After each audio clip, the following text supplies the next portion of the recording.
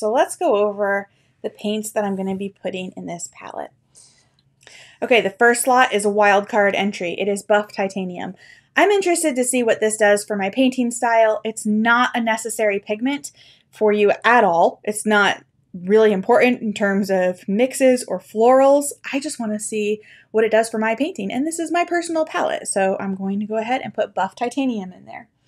I've decided to eliminate the cadmium yellow, and I'm going to go with a warm yellow first, which is quinacridone gold, and then I'm putting my trusty nickel azo yellow in. Now, the nickel azo yellow is going to be the kind of mid slash cool yellow, and it's probably the one I'm going to use the most, um, but I do want that warmer golden yellow here just in case. Next up, I have a transparent pyrrole orange, and that's the convenience orange.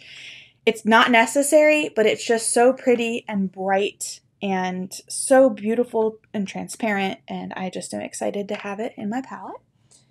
Then I have my warm red, which is Pyrrole Scarlet. It's going to go there. And a cool red, which is Quinacridone Rose. Now, that's enough red, right? A warm and a cool red, but I like to have more pinks and reds for mixing. So I'm going with Permanent Alizarin Crimson. It's a classic for a reason. And the magenta. This is by Lukas. Now, I came across this paint by accident. I got it on sale somewhere, and I honestly just love this magenta. I haven't found this exact brightness of this magenta in other brands, and this is a really well known, um, especially in Europe, artist quality paint brand. So the magenta is going there. And then I have decided to go with Imperial Purple. I'm going to just try it because I've had Dioxazine Purple in my palette for a long time and I just want to try something new. I can always, you know, take it out and put something else in if I don't like it, but I'm going to go with Imperial Purple for a while. Then I have French Ultramarine Blue. Again, I'm using the French Ultramarine just because I have it. It came in another package of Daniel Smith paint that I had, and I know this goes slightly warmer than regular ultramarine blue, but don't go out of your way to get this if you already have ultramarine blue. Then I have phthalo blue green shade. Then my greens. I love my convenience greens. So I've decided Cascade Green coming in right next to the blue um, because it does have a little bit of a blueness to it. It's just a really pretty green, and I'm interested to see how it works for me.